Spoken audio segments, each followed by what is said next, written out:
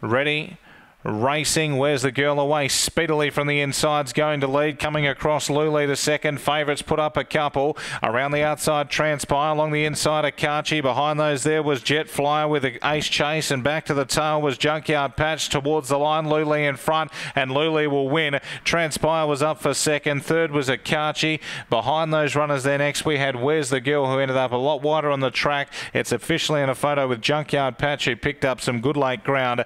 Uh, Thunder Boom back in the field. Back towards the tail of the field is Ace Chase, and it was one of the last ones home with Jet Flyer.